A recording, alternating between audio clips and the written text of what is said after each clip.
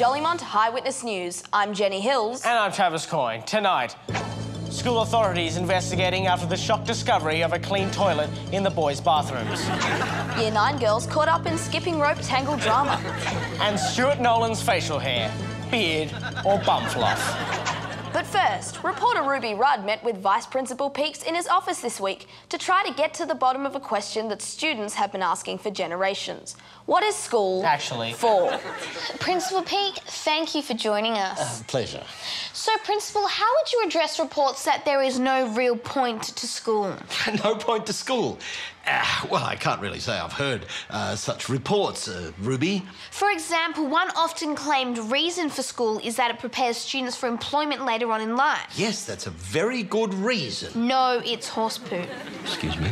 Can you name a career in which they ring the bell every hour and everybody changes whatever it is that they are doing? Ah, For example, this morning I started my day off with maths, then I moved to art, then biology. Now, how do any of these relate to each other in any way? Well- So, how does schooling have anything to do with a real job? For example, have you ever heard of a job in which, say, you work as an accountant for an hour, and then you move to a different room and suddenly you're a sculptor?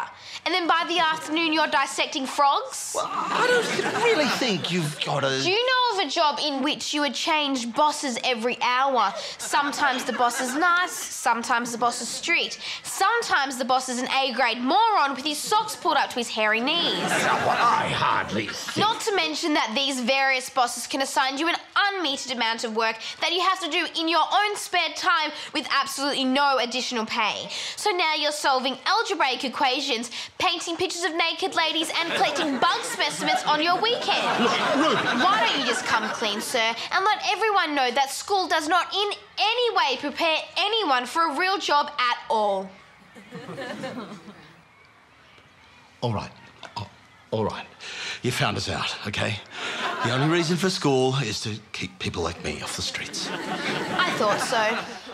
There you have it, folks. First hand, there is absolutely no point to school. And that's all we have time for tonight. But before we go, school bully Rory Bentley got more than he bargained for today when divine intervention saw him get struck down by lightning.